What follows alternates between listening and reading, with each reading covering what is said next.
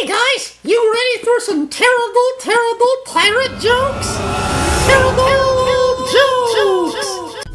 Hey Maynard, What? what's a pirate pay to get his ears pierced? A buccaneer!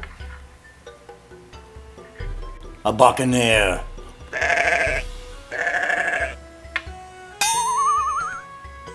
Hey Maynard, What?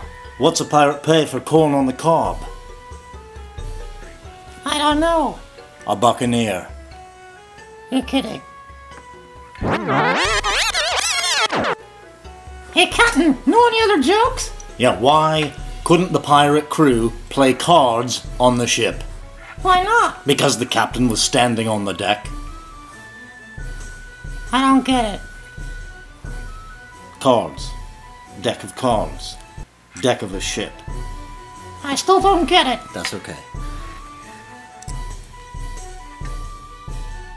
Hey there! If you like the video, please hit like on the little button down there. And if you haven't subscribed, please do.